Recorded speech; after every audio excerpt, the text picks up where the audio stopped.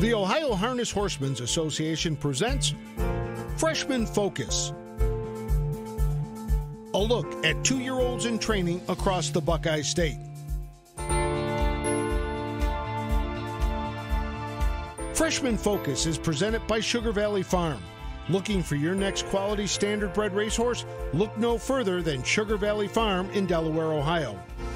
And by Eldorado Scioto Downs, now racing Tuesday through Saturday. First post time 6:15.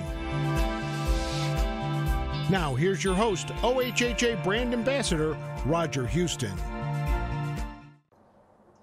Welcome to another edition of Freshman Focus, presented by the Ohio Harness Horsemen's Association here on Facebook and YouTube, as we take a look at the two year olds throughout the state of Ohio. Today we're in Northfield with trainer Rosy Weaver. Rosy, we welcome you to the broadcast, and you've got a stable of eight two year olds, all Ohio breds, and all trotters. Yes, I have eight trotting babies this year. Um, I work for Jimmy Smith at Flowing Mineral Farms, and all we ever did was trotters. We had nothing but two and three year old trotting colts. So I don't have much experience with pacers, so I'm going to try and stick to the trotting babies. Have you raced pacers though in your stable in the past? Yes, I have, and I have uh, multiple pacers in the barn, mostly aged horses. I have a three-year-old Racing Hill filly that is about a week away from qualifying. She trained down super last year, and uh, then she got sick right as it was time to qualify, and we got a few starts in her, but turned her out early, and I think she's got a chance to be a nice filly this year. How did Rosy Weaver get started in the business? Your first uh, knowledge of harness racing? Um, well, I grew up on a farm, and when I got out of school, I was looking for a job. And growing up on the farm, I always loved horses, um, riding horses, draft horses, any horse really. And um, there was a lady, Ruby Hosteller. She was had an ad in the local paper for uh, a job as a groom for the standardbreds. And that's where I first got my first taste, and I ended up working over there as a groom, and it just really sprouted from there. How long have you been training a stable of horses? Um, I've been on my own for about 14 years now. Had a small stable of just six or eight, um, all trotters, but no babies, just aged horses. Basically, cheap trotters that people gave up on. And uh, I played around with them and tried to figure them out and get them going. And I think that is really what led me into being able to do the trotting colts now. Um, I took a lot of patience to get the cheap trotters that big stables kind of let go and gave up on. Rosy Weaver is one of those few lady trainers that actually drives. You're very comfortable out there in a race bike. Yes, I absolutely just love driving. Um, preferably the young ones. And I'll be driving a lot at the fairs, hopefully, this summer. Uh, the way the babies are training down, I'll be out there quite a bit, um, just trying to teach them to not get too hot and just become little racehorses. And then if they make it the next step, I can hand the reins over to somebody that really knows what they're doing. Now, you mentioned the fairs. Uh, any of your horses in the Buckeye Stallion Series or Ohio Sire Stake uh, races? Yes, I have. Um, I stake five two-year-olds to the sire stakes. Um, as of uh, March 15th, they were doing everything I asked, uh, basically everything I let them do. Um, very talented. So um, I staked them to the sire stake, and then I have actually all eight of them staked to the Buckeye. And as of right now, if I had to answer, I would have to guess maybe five of the eight look very legit. Can you tell early if they're County Fair, Buckeye Stallion, or Ohio Sire Stakes? Yes, very much so. Um, I have one colt, the DeJarmbro. His name's a handsome face, and he just, from day one, he just had a different attitude, a different walk, really different. He just stands out among the crowd. Um, he's like a grown adult compared to the others, and he just does everything so professionally he just to me is like a, standout and just wants to do everything every day correct. In this group of eight, you've probably got one that's giving you some fits and maybe even changing your hair color a bit. You know, I did look in the mirror the other day and I saw quite a few gray hairs and I think I know where that comes from. I got a Triumphant Caviar filly that just uh, very frustrating, um, very challenging, but she's taught me a lot of patience, which definitely helps in a barn full of trotters. But she's she's got a lot of talent, very much. I mean, very very talented, and um, she's just wild. I mean, she's just spooks from everything, and one day she might do good, the next she won't, and you're just pulling your hair out trying to figure out what you did wrong. But it just it just takes time to mature, and the light's really coming on for her. She's I think she's going to be okay. Of the eight, they're all trotters, of course. Do you train them in sets when you actually get to the point that you're training them? Yes, uh, for the most part, um, I usually train in two, sometimes sets of three. Um, there's the odd one, like the one we just talked about, Gracious Triumph. She's really nervous and it's very hard for her to focus. She gets really keyed up around other horses. So I was training her down myself, just by herself, to try and just teach her how to just trot. And she's come to the point now where the last two weeks we've trained, and I've trained her with another horse, and she's set on his back and did everything I asked her to. It just goes to show how much she's really come, how far she's really become. I noticed in the horses that you took out today, none of them were wearing overchecks.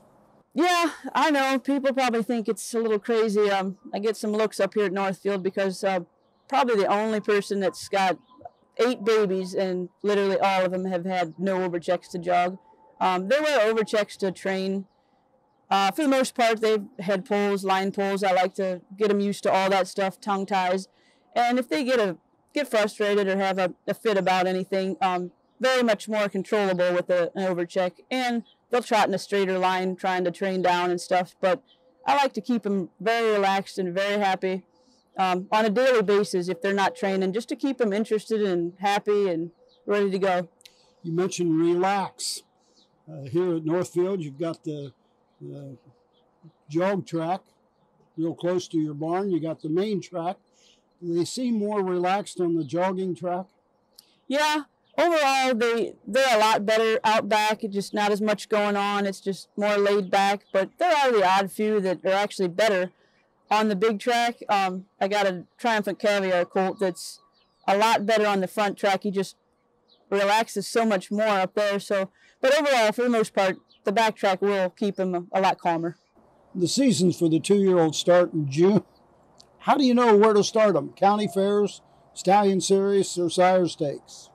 Well, from my experience on uh, on that answer would be like training down with Jimmy Smith and the, the colts that we had. Um, I got to kind of feel out the talent that you were training, and I think if once you get down to about 225, you can kind of pick them apart on which one's gonna go on pretty good or who's going to be stuck on just being a fair horse. But there's really nothing wrong with, in my opinion, there's nothing wrong with uh, being just a fair horse their first year. Sometimes I think they actually learn more and, and get more mature if you just bring them on late and slow and just try to teach them a little bit for that year and you have a very, very nice three-year-old.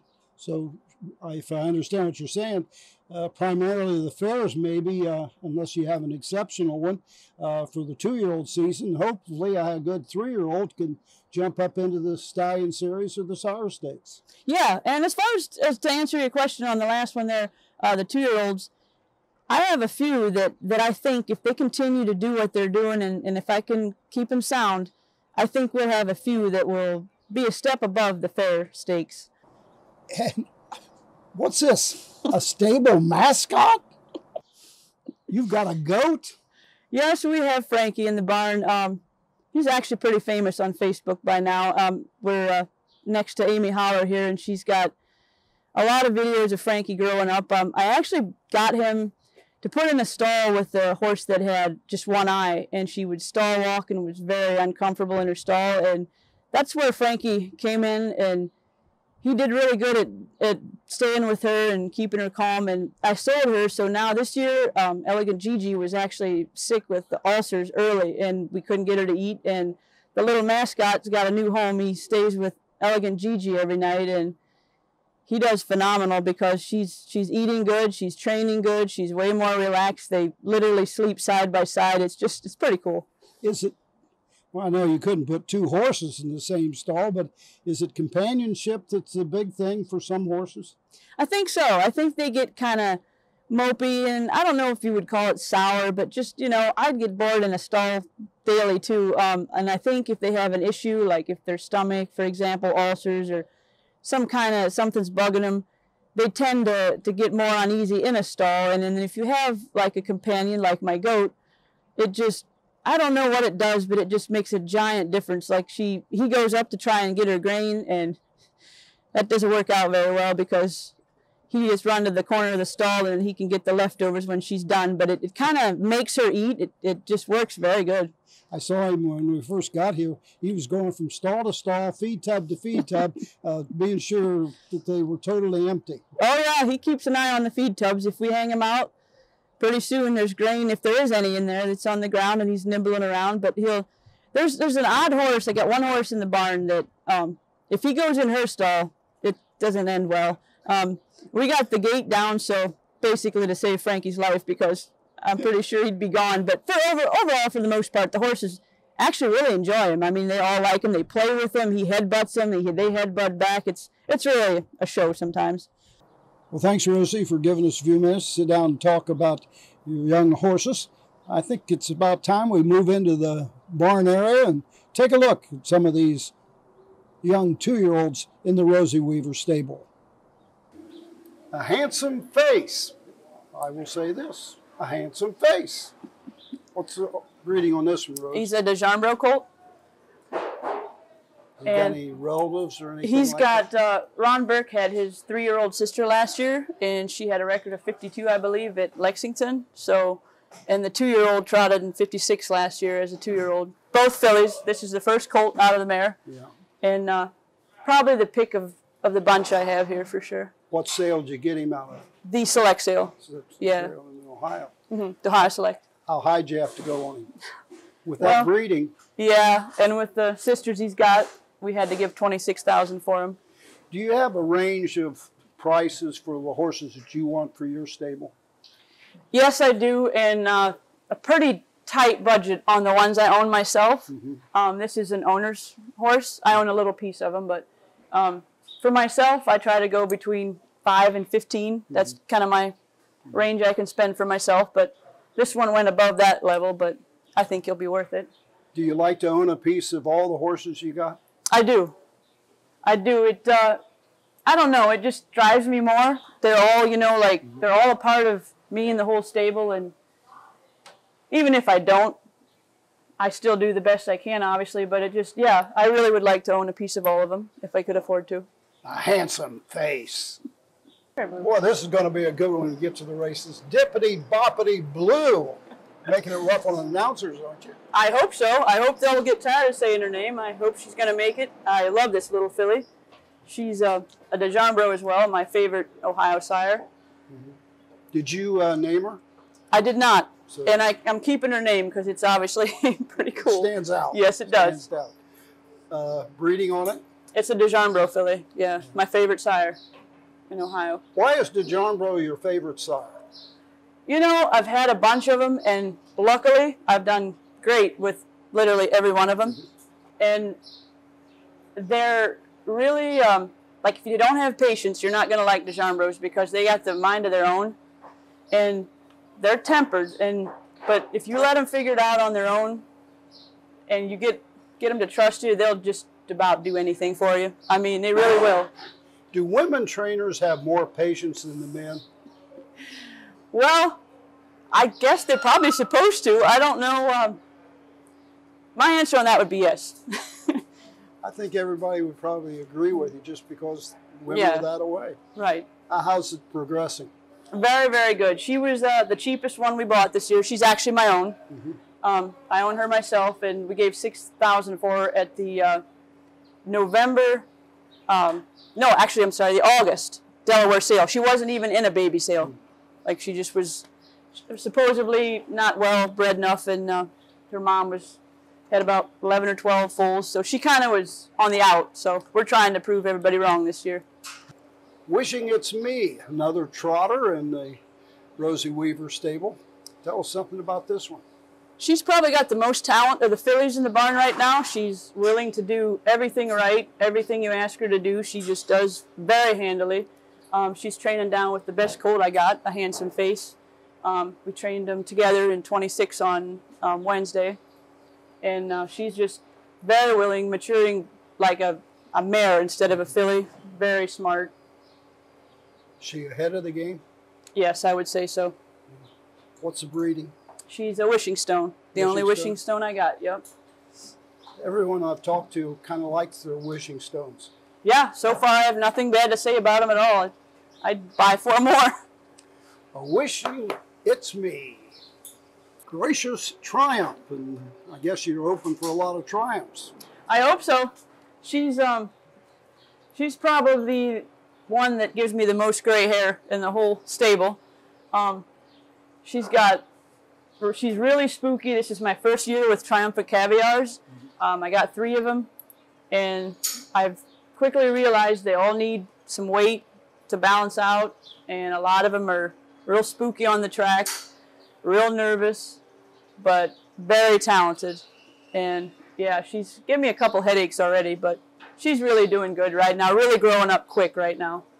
Chris Beaver's done well with Triumph Caviars. Yeah, I doubt I'll ever hold a candle to his success, but we're going to give it a try. This is Gracious Triumph. Rosy, this is a creatine deluxe, a creatine.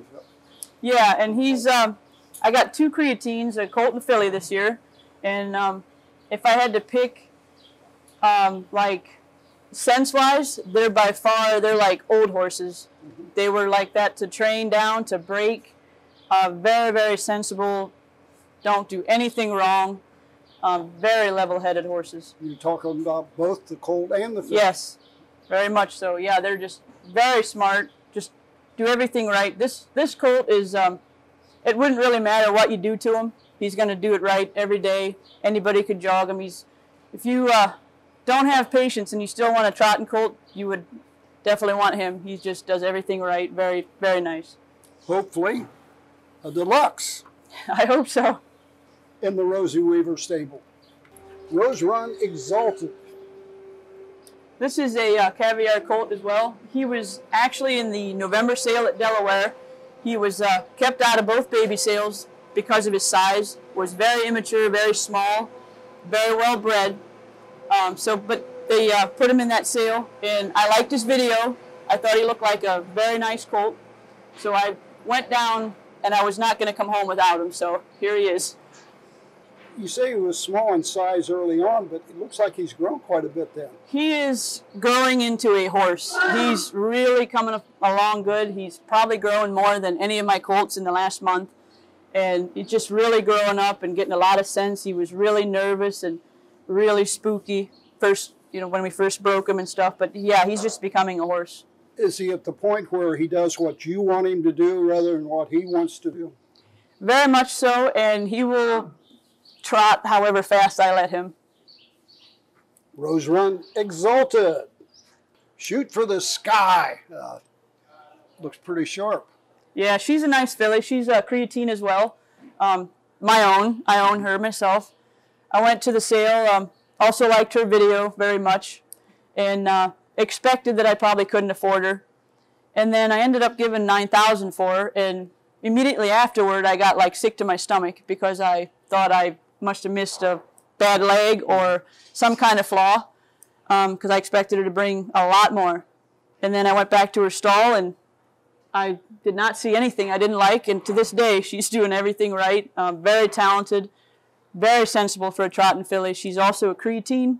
And uh, like the colt, they just very well mannered, very growing up for their age. Rosy Weaver's going to be shooting for the sky. Well, that'll do it from the Rosy Weaver stable here at Northfield. Frankie is having a little after race snack. We'll be back with more of Freshman Focus in a few moments. Looking for your next quality standard bred racehorse? Look no further than Sugar Valley Farm in Delaware, Ohio. Sugar Valley's lineup of stallions includes world champion Down by the Seaside, Lather Up, the fastest horse in harness racing history. Little Brown Jug champion, well said. And the newest stallions to the Sugar Valley lineup, Adios champion Catch the Fire, and the son of Hambletonian champion Muscle Hill, Marseille. Sugar Valley Farm, the home of champions. Racing is back at Eldorado Scioto Downs. Catch the excitement all summer long. Live racing every Tuesday through Saturday nights. First post time is at 6:15. Mark your calendar to see the future stars with the $150,000 Next Generation on July 2nd and 3rd. On the 2nd, it's the two year old Trotters, followed by the Pacers on the 3rd. Horse players earn points with the new Caesars Reward Program. Eldorado Scioto Downs live racing is back. Welcome back to MGM Northfield Park as we continue with today's Freshman Focus. We're with trainer Kent Sherman, and his introduction in harness racing is a bit different than everybody else. His father was an owner of harness horses and president at one time of the Ohio Harness Horsemen Association. Kent Sherman, welcome to today's broadcast of Freshman Focus. Your dad was heavily involved in racing. Yes, he started out uh, just with uh, a couple of brood mares and, and, just selling babies, and then eventually uh, he and my mom decided, oh, let's try one and keep a, a baby or two and have it trained down. And one thing kind of led to another from there and really blossomed into a secondary business. Your father had a career outside of racing, and that's how he got hooked up with Walter Michael. Well, my father first started his uh, accounting business. Uh, Walter was a client of his at the big firm where he worked at, and and he went with my dad, and so that was a wonderful charter client for him. And uh, Walter owned Pickwick Farms, and at one time owned Northfield Park, and he just over the years got dad more and more involved in it, and it worked out great. As a youngster, what's your first remembrance of harness racing? Oh boy. Uh, Probably county fairs, actually. Uh, but uh, once once we had some starting to race, we uh, we were regulars at the racetrack, particularly on weekend nights. Uh, usually eat dinner in the clubhouse and watch the horses race, and then uh, also spent a lot of time at the breeding farm when I was even younger. Would spend some weekends there and learning how to foal and feed and just do everything. And and uh, but then a lot of county fairs probably is the first thing. Was there ever a question as to whether you'd be involved in harness racing? Uh, well, once I really, you know, got bit by the bug, so to speak, I suppose not. Uh, I did, I graduated from Ohio State uh, and I had a pre-vet degree, uh, which I ended up not pursuing to, uh, to train horses, so that's how smart I am. Early on in your career, you were a trainer driver. Yeah, you know, drove my own some, uh, just figured out pretty quickly that there's guys better at that than me. So, as far as uh, training, uh, what's probably the biggest memory you've had in the past? Oh, Jesse's Messenger as a two-year-old was undefeated, won everything in Ohio. Uh, so that that's probably the best. And this year you're training a, a foal of Jesse's Messenger. That's right. Uh, she's she's had one other and it, it raced, but it wasn't great. So we're we're hoping this one kind of looks a little more like her on the track. You have the homebreds. How many uh, brood mares do you have? Just three now. We're down. Uh, one time there was eight or nine, but uh, as Dad's getting a little older, we've scaled that back a little bit. You have five two-year-olds. Uh, four of them are Ohio breds. The two trotters are both fillies and homebreds. The two pacers purchased at the sale and they are stallions. Is there a method to your madness, or is that just the way it worked out? Just the way it worked out this year. Uh, the, the fillies being What The Hills, we actually, uh, my dad bought a share in the in that stallion, so we, we bred both both our trotting mares to him, and and just got fillies and. Uh, the colts, I guess I, you know, I didn't want to have all fillies, so I, I did kind of target colts at the sale rather than fillies. Think all four of them's going to make it to the races? Or? I'm very hopeful that they will, yeah. I mean, a couple of them have already shown me that they, I mean, I think they could, if we wanted to, could qualify at any time. And, and the other two, I think, are both going to come. So uh, right now, we're very hopeful.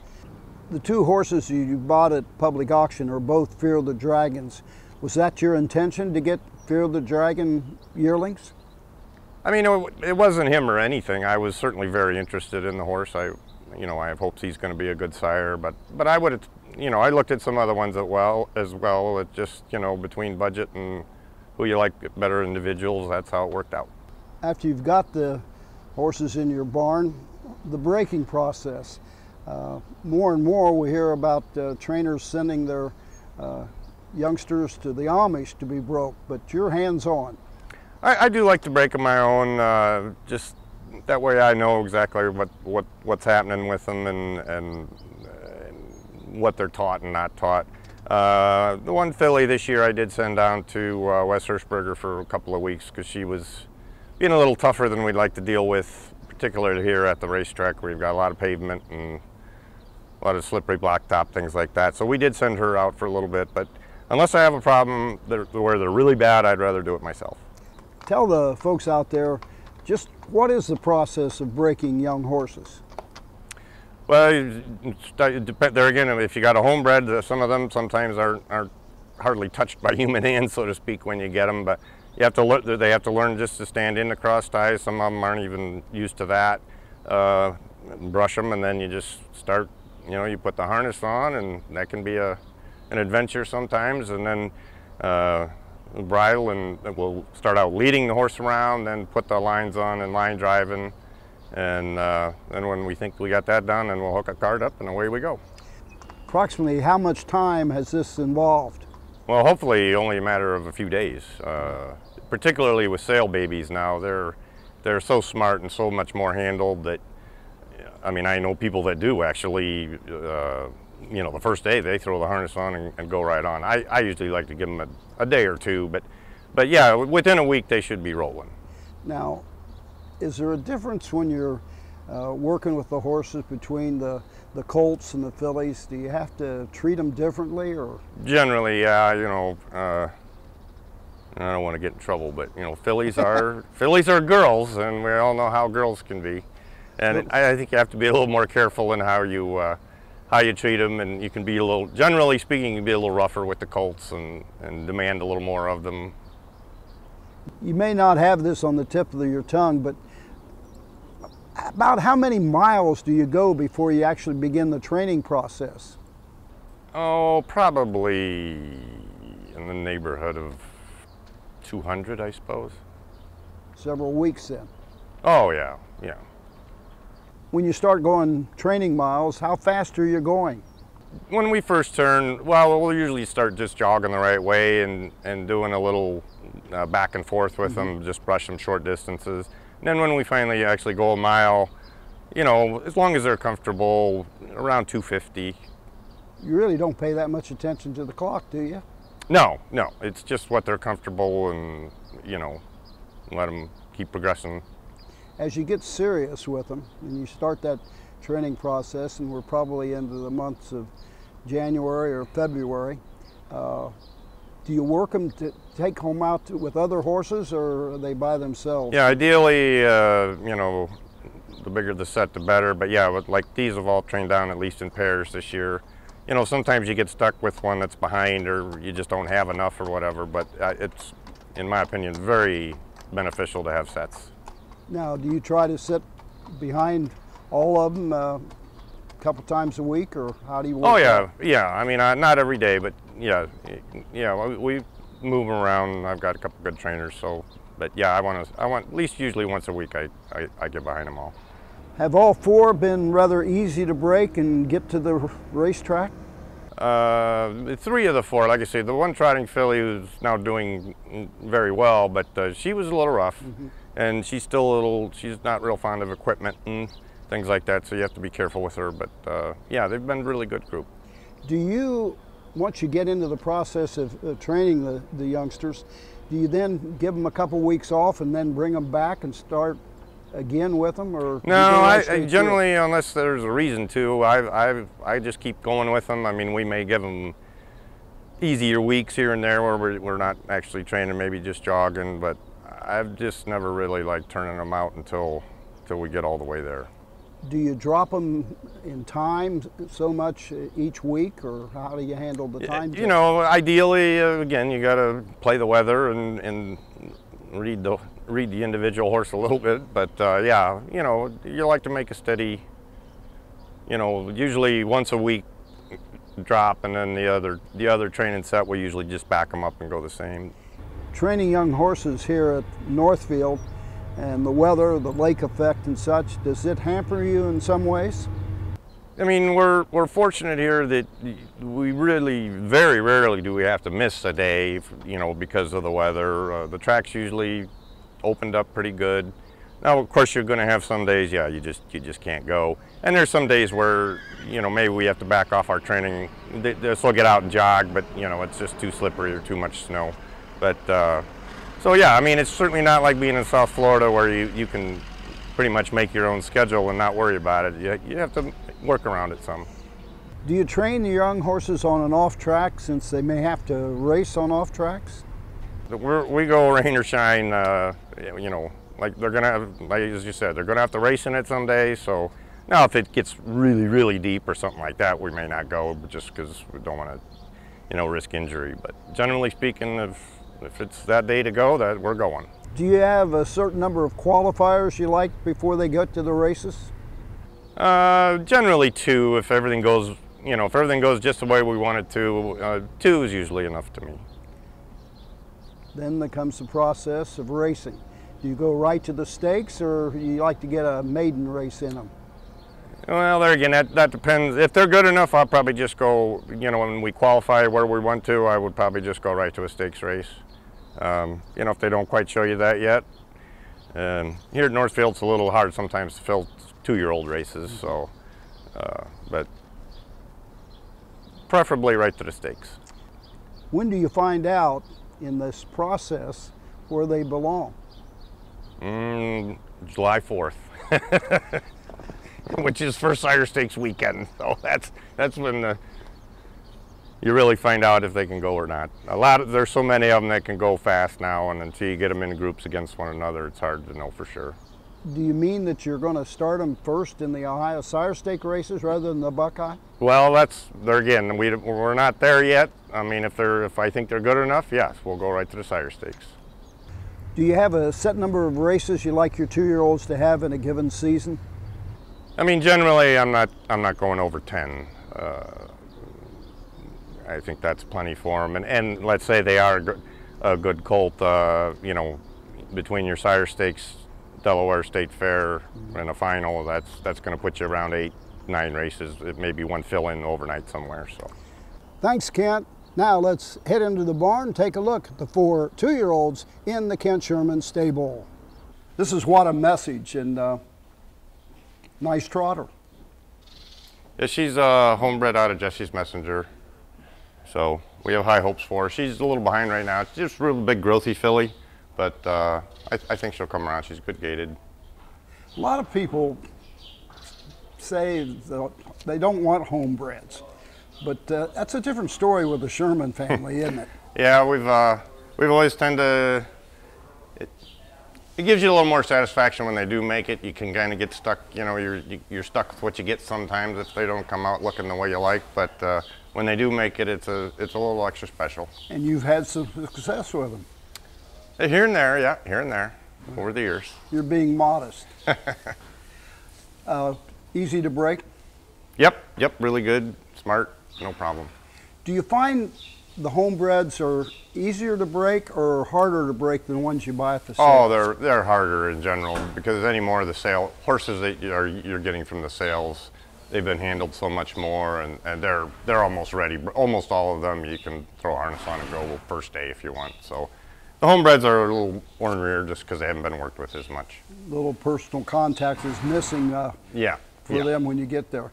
Was she really difficult or did she do what she wanted? No, she, she was she was pretty smart right away and, and took to it quite easily. What's your feelings on the What the Hills? Well, I, I only have two, uh, but I like both of mine. They're both good gaited and uh, both have good attitudes, both can trot. So. This is What a Message. This is Luxury Living, another filly and another homebred out of the Sherman stable. Yeah, she's out of a mare called Curious Lady who was uber talented. Uh, broke a sesamoid at two, came back um, when her first started three and broke another sesamoid, so she went to the breeding shed. This is her third foal. The first two weren't great, but I think she's going to be a good one. No serious problems with her or anything like that? She was a little ornery. She actually uh, did have a little two-week stint out at uh, West Hirschberger's farm to get get her mind right, so to speak. But uh, and she's a little skittish about trucks and things like that, but very good gated, good speed. Would you consider them small fillies?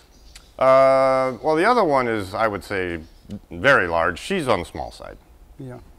Do you have, uh, going into the process, of course, you don't have much of a choice when they're homebreds, but would you rather have a smaller filly or a larger filly? Oh, I, I'd always rather have the size, but but I've had a lot of good small horses. But all things being equal, I'll take bigger ones. She got any peculiarities? Uh, nothing too bad. Like I say, she's not real fond of equipment and things like that, so you got to be a little careful about that. But uh, other than that, she's good. Now, is she kind of on schedule, would you say? Yeah, she's very much on schedule. Yep, she uh, she's on. She'll hopefully be qualifying first week of June. What have you gone with her? Uh, two six, Two six. That's pretty good. not bad. If we can shave off eleven or twelve seconds, we'll have something. You think there's some luxury living in your future? Oh, I hope so. Yes. Fear of Delight by Fear of the Dragon. Uh, we've got a stud colt, or Ridgeling, I should say. Yeah, we bought him uh, out of Bruce Trogdon's consignment, and uh, he's quite ornery, but he's good on the racetrack, so we're letting him roll with his one testicle for now. Um, been very good. Been in 210, had a little setback. We had to freeze a splint, but uh, right on schedule and doing well. Being a Ridgeling, that creates a, a few more problems because even if you would want to geld him, uh, that's a very expensive operation. Yeah, you have to do a, do an actual operation, so that there's some extra cost involved there. And at this point, like I said, if, as long as he's doing well on the racetrack, I guess we'll we'll let it go. Has he been fairly? Does he do what you want him to do, or is On the got a mind racetrack, on the racetrack, yes. In the barn, definitely not. Is that unusual that there's so much difference between the two?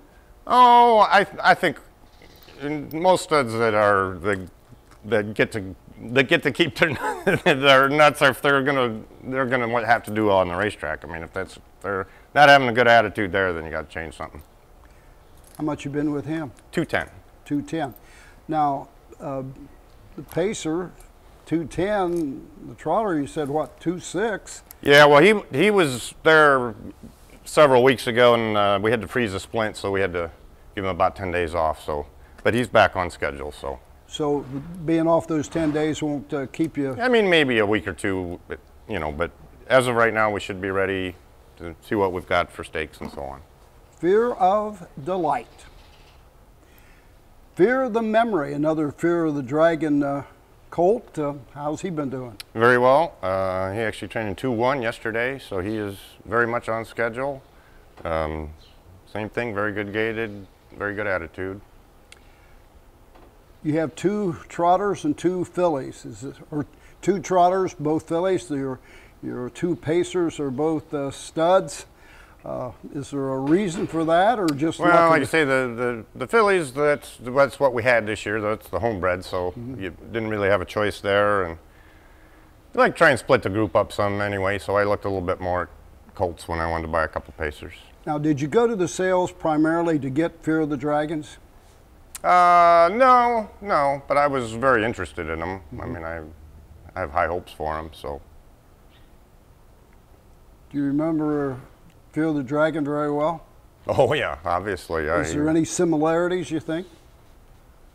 Oh, I, I, I think that other colt probably a little bit. I think he travels like that horse did, but uh, this one is a little different. But hopefully, there's similarities when it when they say open the wings and say go. If I remember Fear the Dragon was a little uh, lazy, so to Yeah, speak. yeah. And both of these are, you know, they're they're when you, you have to ask them, but they, when you do, they go. So they're, they're already doing what you want them to do. Yep. Any problems with her? None. Keep your fingers crossed. Absolutely. On schedule with him? Very much. Now, has he been better than 210? Yeah, he, he I trained him 2-1 yesterday. 2 1. Yeah. Yep. So he's uh, he's really ready to go pretty much. Just a little finishing off here. Is there a, such a thing as getting ahead of schedule? Know, sure, I guess you can, you know, but I mean, there's everybody's different. But Yeah. I, I like to try and just have them go where you could, you're naturally working down to when you qualify. That's where you're ready to go. But I take it then he was very comfortable. oh, very going- much so. Yeah, very much so. Yep. This is Fear the Memory. I'd like to thank Rosy Weaver and Kent Sherman and the folks here at MGM Northfield Park. Uh, this edition of Freshman Focus. We ask that you join us again next week, same time, same place for Freshman Focus.